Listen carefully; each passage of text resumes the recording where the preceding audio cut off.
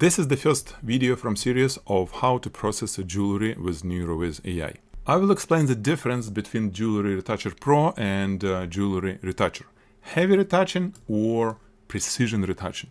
There are quite serious difference between these two applications and it's very important for you to understand where to use each of these. Heavy retoucher uses specific AI model that can completely redraw the image and can improve even very very bad photos. However, it comes with the cost and the cost that the jewelry may look different. If your jewelry piece is not common, if it's unusual shape, it's not gonna work well with heavy retouch. On other side, if your jewelry is well done, relatively well photographed, and uh, doesn't have uh, areas that is kind of almost unrecognizable, this is the best option, and especially if the jewelry is unusual shape. Let me show you on examples. Let's open jewelry retoucher, so heavy retouching. First, we have this beautiful, beautiful ring, uh, but it's it's very unusual. This is right, uh, it's like an art, uh, very artistic ring. And photography-wise, it's done relatively well. It's not retouched, it uh, looks like uh, out of the camera. However, the lighting and everything is relatively good. There are lots of blemishes and stuff, but again, it's done relatively well.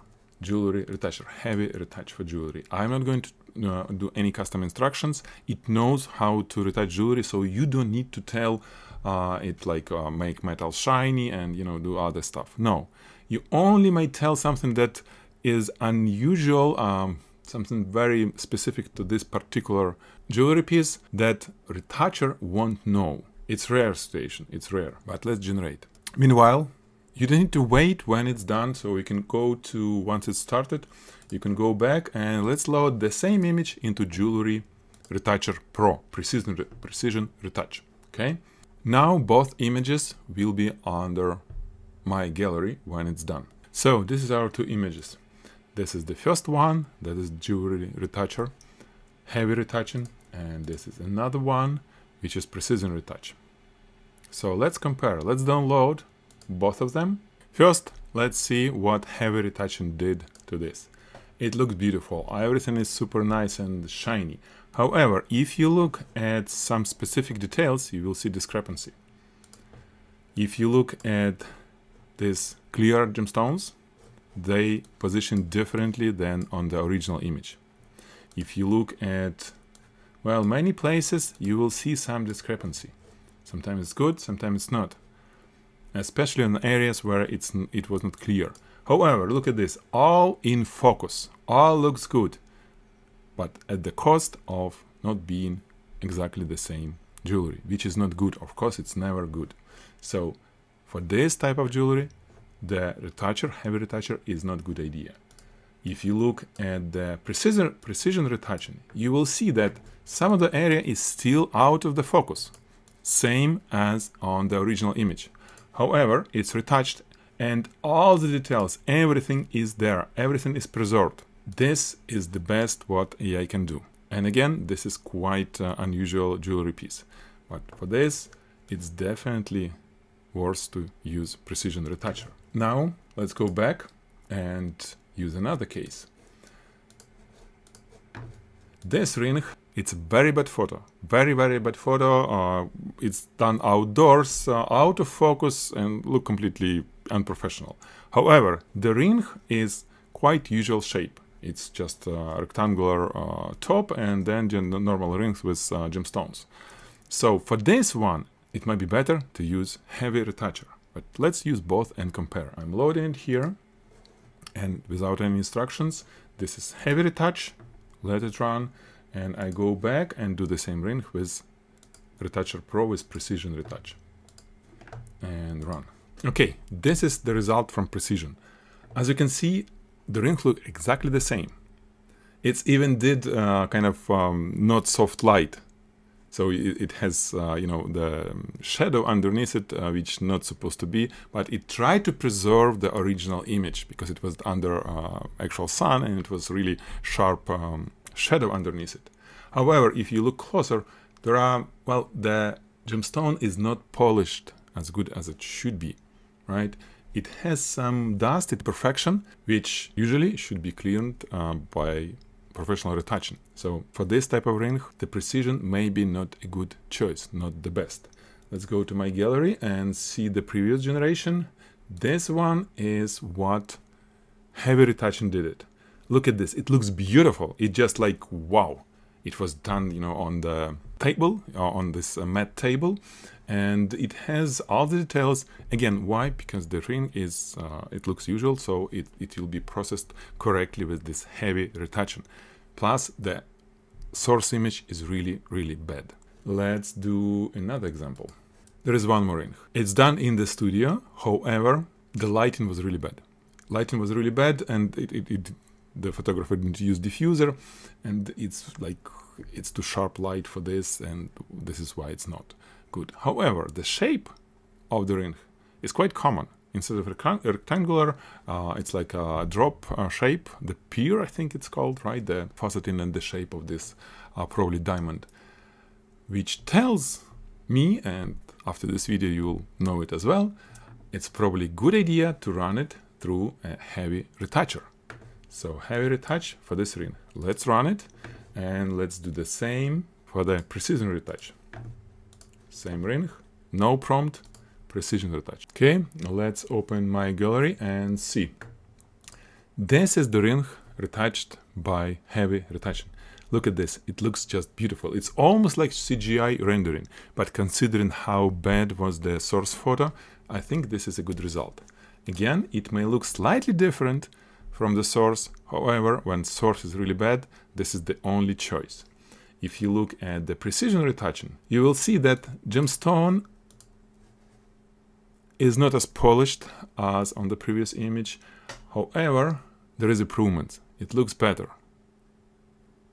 Which one works best for you, you decide, but you, should understand the difference. Let's do the last example. There is another ring, this one for example. What do you think? What kind of application will do the best job for this ring? I'll tell you. The lighting here is not so bad. Okay, it's done in the studio. It's not really bright. However, if you look, uh, there are all details are visible, and uh, well, the, it's really old ring. Uh, lots of scratches, and the most important, the shape of this ring is I wouldn't say its usual shape.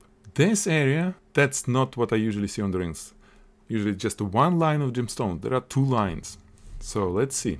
Let's open it on heavy retoucher, jewelry retoucher, and go back and do the same ring on jewelry retoucher pro precision retouch. So I'm adding it here and generate. This is the result. As you can see, the shape is preserved beautifully. The metal is polished. However, there are some areas, if you look here, so there are some areas where it was not retouched as good as it could be right? This is the cost of precision. The rest is good and metal looks good. I would say that this ring is good with Jewelry Retoucher Pro.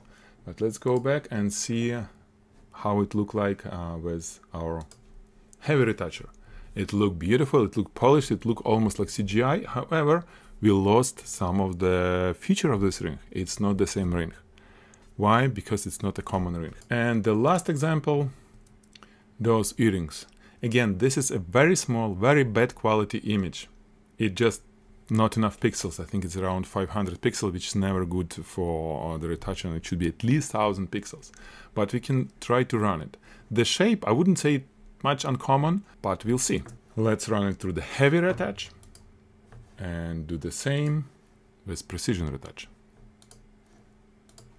Okay, this is precision retouch if we compare it to the original image, let's go and see. The original image was this, and I think it did really good job. Well, especially looking at this, there is almost invisible what it is, but I think it did well, right?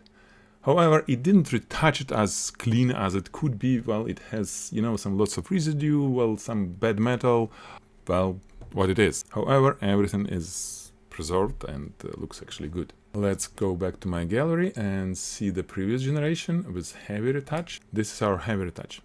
You see that, well, it looks good. It looks better than the previous one that we looked at, right? Uh, with the precision. Probably for this is not needed precision. Let's compare them. So this is the source on the right, this is the result on the left. I would say that the result is way better and it's actually way better than precision retouching. The heavy retouch did good job here. Why? Because the source was really blurry and very bad quality. So it did a better job. So what to do next? With the rings and uh, other jewelry that we just retouched, we can use either smart photo generator or styled photo generator to put them into some environment to make uh, photos that uh, looks well great and professionally done. My favorite is styled photo generator v2 because it's not prompt based there is a prompt as well but not needed. Uh, it takes a photo other photo other image as reference and generate something similar. So i'll show you. Uh, let's open it. It takes two photos. And I'm going to load one of our bad rings that was processed uh, through heavy retoucher, right, this ring. And then, instead of thinking, you know, what kind of environment, uh, where I want to place it, I can just find something uh, that look similar. For example, this image, okay? This is the image uh, just from Pinterest and, uh, well, it looks cool for jewelry, you know, this type of setup. And aspect ratio, well, we can choose any, let's choose one to one. You don't need to put prompt. This is this is your prompt. The image is the prompt, and you just generate. Here is the result. The ring looks great, and look at this creation. It's done the way that it uh, how it will look when it's actually placed on this uh, little pedestal, uh, this green one.